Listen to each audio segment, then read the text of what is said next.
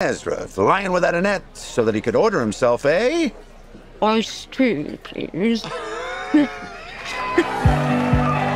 The doctor who first told me my son was autistic could have saved us both a lot of time if he just said the truth. Autistic kids don't give up.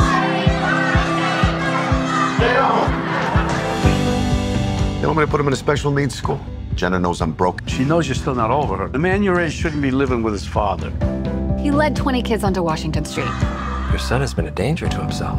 He's not dangerous. He's a challenge. Nobody wants to do the work. Now I see where the dangerous behavior comes from. Son of a... You want to do something for your son? You get yourself to LA. Jimmy Kimmel wants to book you. What? They're not going to fly you. Is that going to be a problem? Uh, no.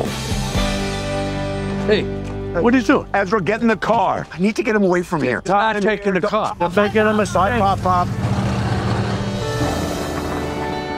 I ever wanted was just to protect our boy. Well, I'm protecting him now. Give your Uncle Nicky a hug, huh? Come on, come here. Hey, hey, where you going, kid? You know, the word autism comes from the Greek, in your own world. I don't want him in his own world. I want him in this world. That kid is the one thing that I can't get wrong. Just look him in the eye. Looking a horse in the eye, it's like sharing your soul. Where the hell are you? Taking a little time off with Ez. It's not a good time to take off, Max. You're fighting for something.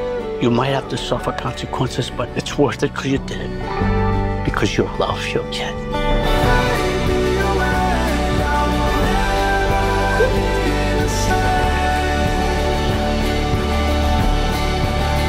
A dad's job is to take his son down the field. And if he gets tackled, all that dad wants is for that kid to pick up the ball and to take it the rest of the way.